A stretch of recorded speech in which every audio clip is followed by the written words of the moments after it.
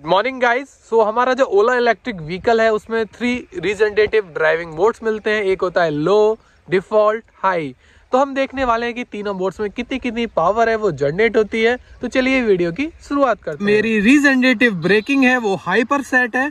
तो चलिए ड्राइव करके देखते हैं कितनी पावर जनरेट होती है देन हम डिफ़ॉल्ट और लो की भी देखेंगे। सो so, मैं फिफ्टी तक ही अपनी जो व्हीकल है वो लेके जाऊँगा 50 की स्पीड तक ही और यहाँ मैंने पावर सेट कर रखी है। सो so, आप में से अगर किसी को नहीं पता है ये हम डिफरेंट पैरामीटर है वो सिलेक्ट कर सकते हैं। सो so, uh, मैंने यहाँ पे पावर सेट कर रखी है पावर चेक करने के लिए। ठीक है तो चलिए व्हीकल में ड्राइव करता हूँ। और मैं इसे 50 तक लेके जाऊँगा। देन मैं इसका जो रीजनरेटिव ब्रेकिंग चालू कर दूँगा। 50 तक मैं पहुँच चुका हूँ। देन देखिए 2.3 तक मैक्सिमम जो रीजनरेटिव ब्रेकिंग है, वो हुई है। देन अब मैं दूसरे मोड्स में चेक करता हूँ एक एक करके। डिफ़ॉल्ट मोड है, वो एक्टिवेट कर लिया है। चलिए अब इस मोड में ड्राइव करके देखते हैं अपने व्हीकल को कि कितनी पावर है, वो जनरेट होती है रीजनरेटिव ब्रेकिंग में। तो जैसे कि मैंने पहले बताया था, केवल 50 तक जाऊँगा।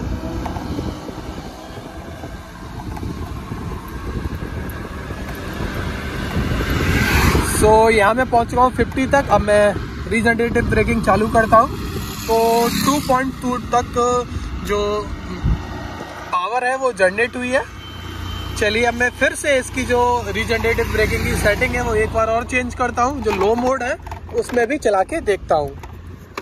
तो अब मैंने यहाँ पे रीजनरेटिव ब्रेकिंग में लो मोड लगा रखा है। अब चलिए लगा के देखते हैं कि कितनी पावर है वो जनरेट होती है व्हीकल में। जब हम ब्रेकिंग करेंगे सो so, मैं 50 तक लेके जाऊँगा इसे।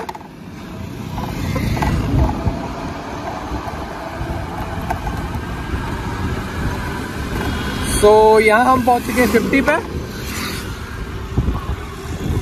2.2 सेम पावर है वो जनरेट हुई चाहे हम डिफ़ॉल्ट मोड में हो, चाहे हम लो मोड पे हों चाहे हम थर्ड मोड पे हों, जिसका नाम था एक्चुअली मैं नाम भूल गया हाई मोड पे हो डिफ़ॉल्ट पे लो पे सेम सब में सेम मैक्सिमम पावर है 2.3 की जनरेट होती है। फाइनली तीनों मोड्स थे, वो हमने चेक किए और हमने ये पाया कि तीनों में मैक्सिमम 2.3 किलोवाट की जो मैक्सिमम पावर है, वही जनरेट होती है, चाहे वो कोई सा भी मोड हो नॉर्मल हो हाई हो, या डिफ़ॉल्ट मोड हो। सो so, आज की इस वीडियो में बस इतना ही था। आई होप वीडियो आपको पसंद आई होगी। मैं आपके लिए ऐसी वीडियो लाता रहता हूँ। Thank you for watching